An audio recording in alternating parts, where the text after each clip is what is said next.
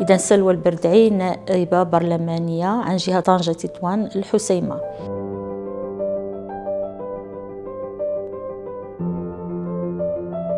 المسار ديالي بديته في العمل الجمعوي منذ أن كنت تلميذة ثم بعد ذلك انخرطت في العمل لدعم النساء. في وضعيات صعبة. وكانت هذه البداية لولوج العمل السياسي.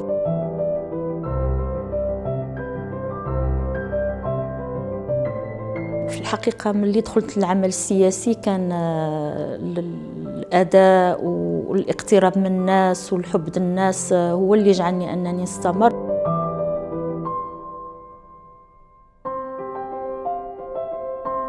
دائما أي امرأة إلا بغات توصل وبغات يكون عندها آه، أداء جيد كخصها دائما آه، تعمل في بالها أنها مش تجبر شي واحد الطريق اللي هو مفروش بالورود.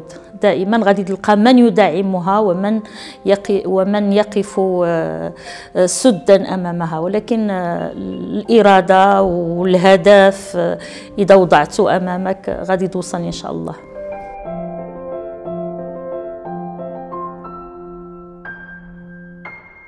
إذا إذا الإنسان قسم الوقت ديالو غادي يقدر يقوم بهذا يوفق بين هاد المهام. ولكن ما نساش حتى الأسرة والمساعدة المحيطين بيا كاملين.